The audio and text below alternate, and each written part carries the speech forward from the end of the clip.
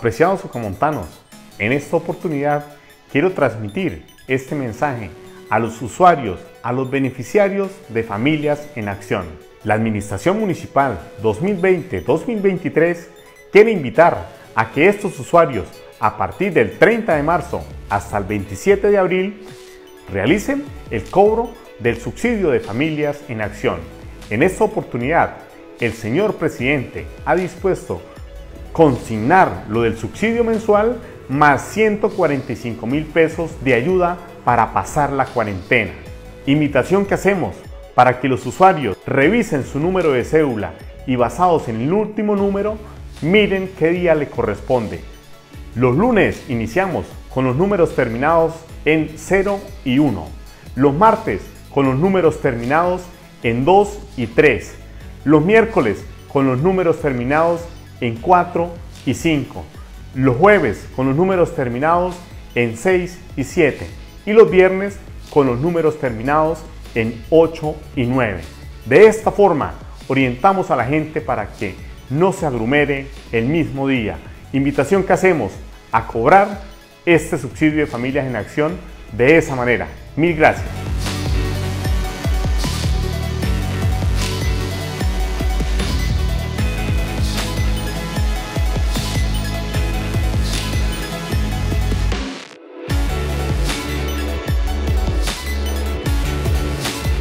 Bueno, Camontanos, hoy aceptando el reto que me ha puesto mi esposita, Tatiana Prada, como nuestra gestora social, acepto este gran reto, compartiendo 10 mercados a las familias más vulnerables de nuestro camón.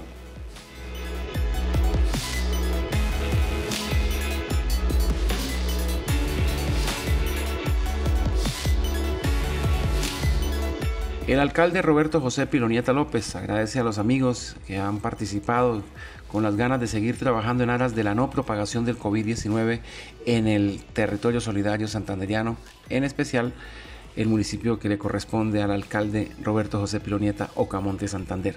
Vale la pena dar lo mejor, con amor y aprecio a lo que se hace. Compromiso de todos. Se llevó a cabo la entrega de 100 complementos modalidad familiar DIMF dirigidos a madres, gestantes, niños y niñas menores de 5 años, buscando garantizar su alimentación durante el aislamiento, mandato exigido por el Gobierno Nacional y el Instituto Colombiano de Bienestar Familiar. Por su parte, el alcalde agradece a la Policía Nacional y a las personas que se han vinculado en este programa que atiende a 100 beneficiarios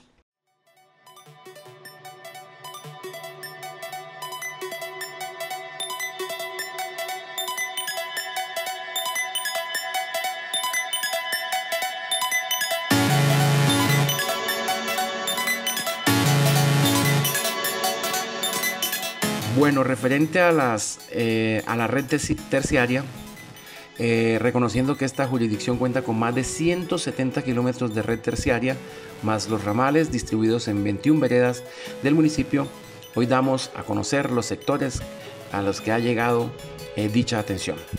Vemos en imágenes fotografías que nos comparte el mismo alcalde Roberto José Pironieta de los lugares donde se han hecho estos, estos trabajos.